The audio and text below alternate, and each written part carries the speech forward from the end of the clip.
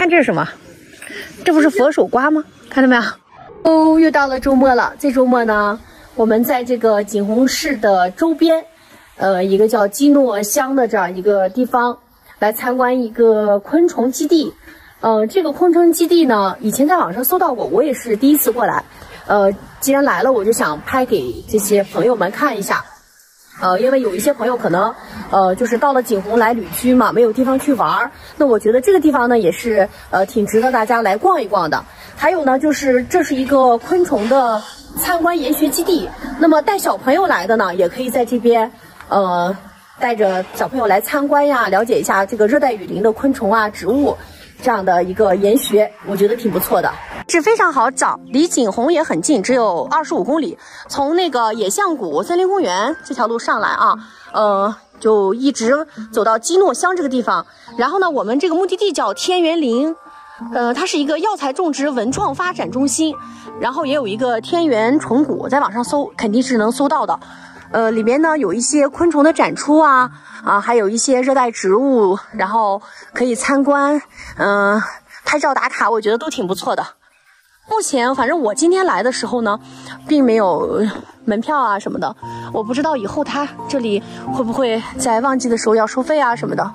红区艺术馆很多的头衔，热带雨林多样性生态环境司法保护研学基地，嗯，各种科普教育基地。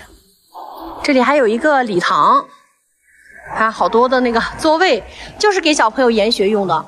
抬头看上面的这个植物啊，这个。呃，可能外地的朋友都觉得这应该是个装饰，其实它是真正的植物啊，热带雨林的植物。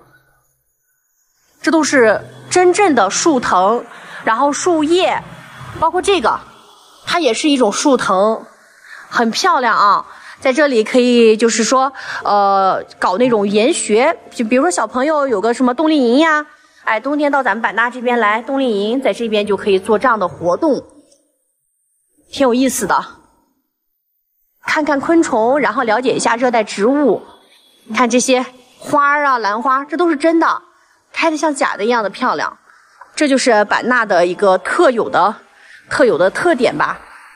这个礼堂其实不小的，这个我看应该能容纳个三十个人、三四十个人这样子。哦，穿出这个礼堂还有一个鱼池，好漂亮啊！这个鱼池，这是水葫芦啊。这是种植的水葫芦，长得真好。锦鲤、水车，可以拍照打卡了，很漂亮。从这里就上山了。对，那上面有蛇。鸡不吃蛇吗？吃，但它大的不敢吃。刚才工作人员说，呃，这里是不让私自上去的，因为会有蛇啊，会有一些嗯昆虫。就是可能会有毒性，所以不安全，要在他们老师的带领下才可以进到这个山里。这间木头房子是一个蝴蝶谷，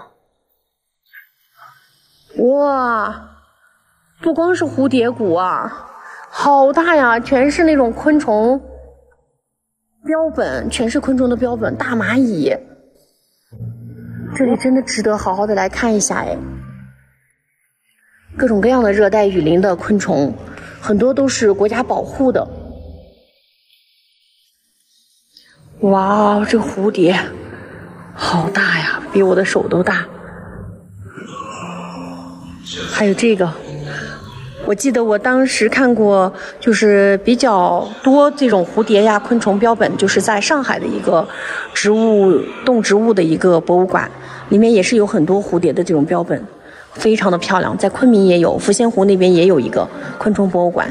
那这边的话呢，就是呃，老师会教小朋友或者是感兴趣的，就是一些朋友啊，去制作一些标本啊什么的。是整个一个流流程啊。了解清楚了。刚才呢，跟工作人员聊了一下啊，大概知道了这个园子的情况。这个园子呀，它是晚上开放的。那么晚上如果你要过来的话呢，它会有一系列的这个活动，比如说讲解呀，还有视频呀，或者带着你和孩子们做一些这个小手工啊，然后还可以进到他们这个山里面去看，就是夜间观虫，嗯，然后还有整个的一个系列的这种活动吧。但是呢。呃有有服务人员去给你去做这种服务，肯定就有费用了，它的费用也不低呢，是二九八米，啊，所以我觉得如果说呃对这些没有什么硬性要求的话。大家就可以白天过来啊，白天的话还可以停车，然后也没有人去呃干什么，你就自己参观自行的去看一看，了解一下。那今天的视频我就跟大家分享到这里，下次找到好的地方呀，继续带你们玩版纳。